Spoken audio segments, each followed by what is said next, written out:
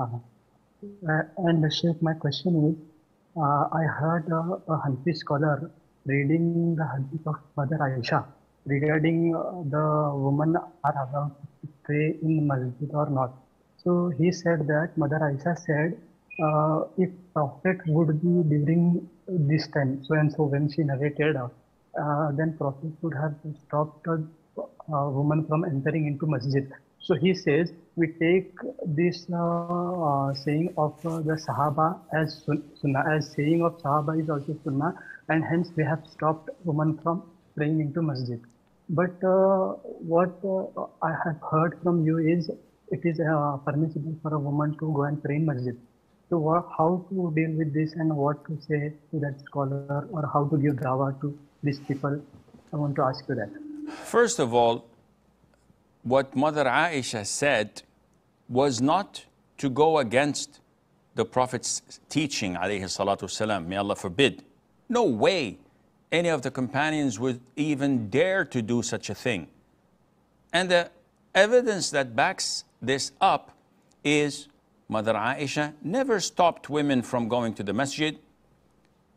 Abu Bakr, Umar, Uthman, Ali, and all the righteous caliphs of the companions and the tabi'een, tabi'at tabi'een, never ever had dared to stop women from praying in the masjid. So we address this honorable scholar and say, Do you know more than them?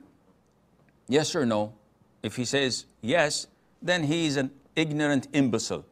Put him in the trash can. If he says no, may Allah forbid, the companions way, know way more than I do, we say, wouldn't it be safer for you, O Muslim, to follow their footsteps so that you would end up with them in Jannatul Na'im in Firdaus? Hopefully, rather than go against the teachings of the Prophet ﷺ, who he himself said, do not, this is the Prophet's words, do not prevent women from attending the prayer in the masjid.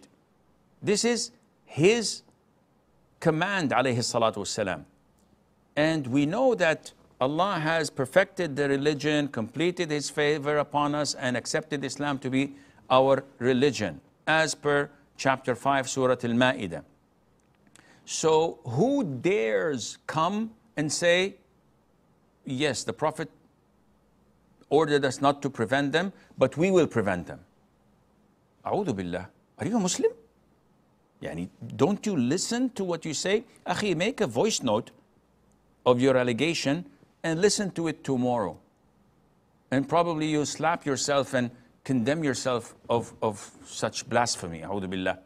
The son of Abdullah ibn Umar, may Allah be pleased with him, that is Abdullah, and with his father, that is Umar ibn Khattab. His son heard his father once say, I heard the Prophet said, saying, alayhi do not prevent women from attending the prayer in the masjid.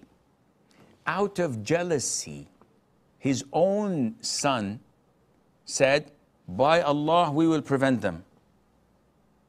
Now, what he meant that because of the fitna, because of the wrongdoings, we think that we will prevent them just to reduce the amount of fitna, not to go against the Prophet's uh, uh, uh, command, salam, but it came out in a heinous way, in a very bad and inappropriate and an insulting way. Abdullah, may Allah be pleased with him, was outraged. The narrator of the hadith says, I have never heard Abdullah curse or say bad words in my life like that day. So he cursed his son and used all bad words in the dictionary against him. And he's saying to him, I tell you, the Prophet says, do not prevent them. And you said, we will prevent them? Go. For wallah, I will never speak to you till the day I die. And Abdullah kept his word. He did not speak with his son.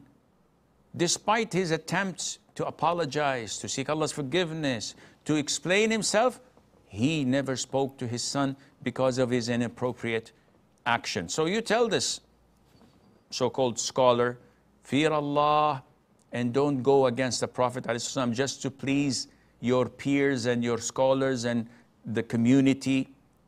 Rather, please Allah Azza and follow the Sunnah of the Prophet ﷺ if you are a true Muslim. Shihab